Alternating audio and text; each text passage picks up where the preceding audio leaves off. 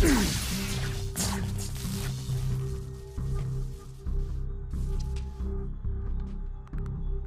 want some clothes, man?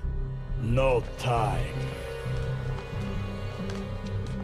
Man, like I said, last time a big naked dude A true classic never dies, but with the passage of time, its age does begin to seep through. What's going on guys, my name is Cynic, and today we're going to be talking about Saints Row 3 Remastered. Now this is a little bit of a deviation from the normal content I upload, but with Saints Row 3 being an all-time favorite of mine, and the folks over at Volition and Sperasoft were also kind enough to send me a review copy, I figured what the hell, let's take a trip down memory lane, return to Steelport, and relive the 2010s, which this game is just gushing with the dated humor that I love. Now before we jump into it, like I said, uh, this game was provided to me completely free of charge. However, I was not paid to say anything positive. This review is completely 100% my honest opinion. And all the gameplay you're going to be seeing in this video was captured on PC with all the settings completely maxed out, which this game is optimized perfectly for. My rig is pretty dated and I was able to max out the settings while recording simultaneously and I still didn't have any issues. Now if you guys ever played the original Saints Row 3, then there's nothing really different here, narratively speaking, just like with any other remaster. The main selling point here is a 9-year-old game with all of its DLC at a price less than a normal AAA price, as this game is priced at 40 bucks. The catch here is just like with any other remaster, uh, boosted up graphics, better lighting, improved character design, just pretty much giving this game an overall facelift to bring it up to the current generation standard for gaming. And on the surface, this game does that very well. As a matter of fact, in the first mission, you can already notice a stark difference. As soon as you enter that bank lobby, just the, the sun shining through made my jaw hit the ground and honestly made me excited for what Saints Row 5 is going to be looking like. I mean, going from the original to the remaster, uh, not only can you notice a difference in lighting, but you can notice improved character designs. Weapons were completely remodeled. Specifically, the Shepherd 45 by itself looks like an entirely different gun. Now looking like it has much more weight to it, a little bit bulkier with a nice chrome finish. There's a scene in the elevator where you have a close-up of Josh as he puts on his GAT mask. Now in the original, those masks looked like perfect plastic helmets, Well,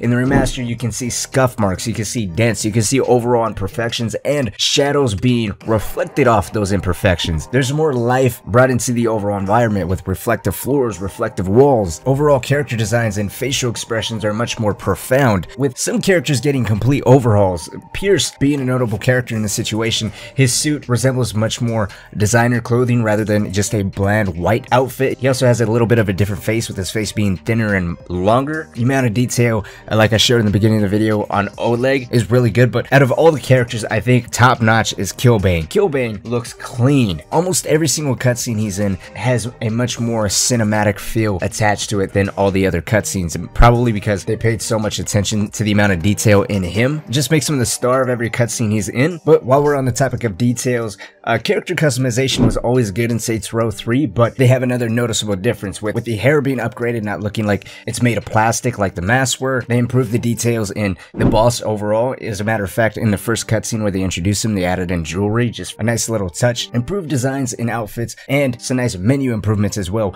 Most notable which at Friendly Fire. Now you can actually spin your weapons around, look at the new weapon models for every single gun that you own. They also added in some improved physics, which is very noticeable with the Penetrator, which is probably one of the most iconic melee weapons of video games. Unfortunately, in YouTube's current state, I don't think I'm able to even show it, but just know it is in the game. It does look better, and it's just as funny as it always been just to be able to beat people down in the street with this damn thing. Next up, I want to move into sound design. For the most part, everything is the same, just, you know, obviously sounding a little better, a little crisper, you know, take it how you want. But for me personally, I wish they made some of the weapons sound like they had a little bit more oomph to them. I've always felt like the weapon sounds in Saints Row 3 made the guns sound like they were a little weak, but that's just my stance on that. All the bass sounds are the same, but what immediately jumped out to me was the Krukov, or the assault rifle you use in the first mission to rob that bank. In the remastered version, sounds a little bit more prominent, a little louder, or not deafening in any way or any major changes. It's just a little louder. Here, take a look for yourself. I can't believe you launched that guy into a statue! I can't believe you're still thinking about it. Do you want to know who these people are? Listen, all that matters is the vault. Let's find that and get the hell out of here. Now, Oh, Jesus. get up, Birk. Let's keep moving.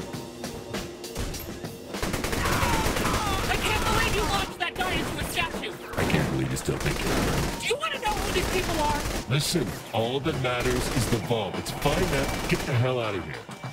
And that is no alteration on my part. That is just pure gameplay. So with the remastered, you're getting improved character designs, improved weapon designs, upgraded sound designs. You also have a little bit more traffic in the streets, both as far as pedestrians and vehicles go. And again, on PC, it's optimized very well, but there are some bugs plaguing the game that I want to point out. Driving around, you're going to be running into some bugs, at least on PC that I was, where cars would randomly just spawn into each other, then explosions would go off based off of that, which is just kind of funny how it is, but when you're in the middle of a mission and that shit happens to you right in front of you and you're looking behind you, it can get annoying very quickly. There's also pop-ins that are noticeable in some cutscenes, which is a little distracting, and uh, there's this thing where Brutes and Oleg himself can't go upstairs right. For whatever reason, whenever they come across stairs, they start to run very slowly, which is cool. You know, it makes a brute an easy target for you. But when you're on a mission with Oleg and you gotta wait because his ass forgets how to walk up a flight of stairs, and he himself is like a combination of 18 people, it's just,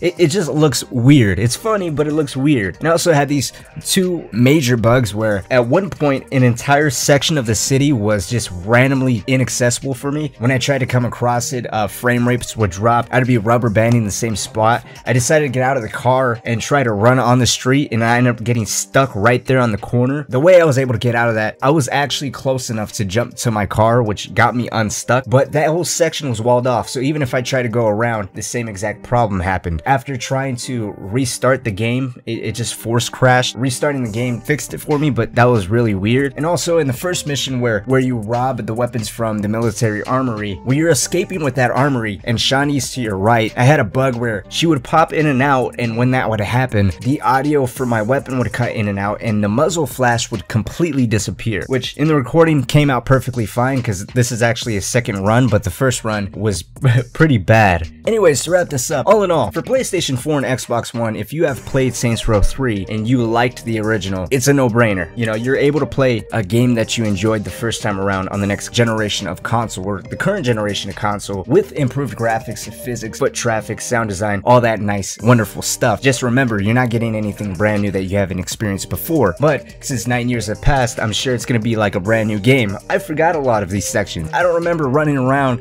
on a mission butt-ass naked. By the way, this game relies very heavily on sex for humor, which again is a little dated, but it is what it is. Regardless, it's a good game with a lot of DLC, and given a lot of people are stuck home under quarantine, it's definitely worth the money, especially on Xbox and PlayStation 4. However, if you're on PC, it's a little bit of a harder sell because uh, you can get the full Saints Row experience. You can buy Saints Row 3, all of its DLC on Steam for less than half the price. 15 bucks, all the DLC, main Saints Row 3 game compared to this, which is priced at 40 bucks. So you'd be paying a little bit more than double the price for just a bump in graphics. And since there's nothing here that's not in the original game or in the DLC that you can buy from the original game nine years ago, it's kind of hard to say it's worth the money. If you're a graphics snob, then definitely, but if but if you're looking for something just to kill time and enjoying this game, then I don't see a problem in buying the original. Just know it is a nine-year-old game and in some respects it is pretty dated. But that's gonna wrap it up for this video. Let me know what you guys think down in the comment section below. Have you guys tried Saints Row 3 Remastered? What do you guys think? Have you played it on PlayStation or Xbox? Have you guys ran into any bugs? Let's talk all things Saints Row down in the comment section. Like always, guys, my name is Cynic. Thank you all so much for watching. Until next time, my friends, I'll see you all later.